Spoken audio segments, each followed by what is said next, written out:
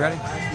All right, Joe. I tell you, that was a, uh, was a great ball game. Uh, uh, just a heartbreaking loss for us, but very proud of our kids. Uh, really, the difference in the game was, uh, you know, we, I got to tip my cap to Samford. They uh, just couldn't control the middle of the lineup, and, you know, you feel pretty good. You got a, a seven-run lead with nine outs to go, and then a a three run lead, a four run lead with uh, six outs to go. You think you got a good shot, but I, I just it was amazing. And they just kept coming and coming, and they took the momentum right out of our dugout. But very proud of our guys, our seniors, just a special group of kids, and our guys fought their hearts out tonight. It's just uh, very disappointing to see the season end like this.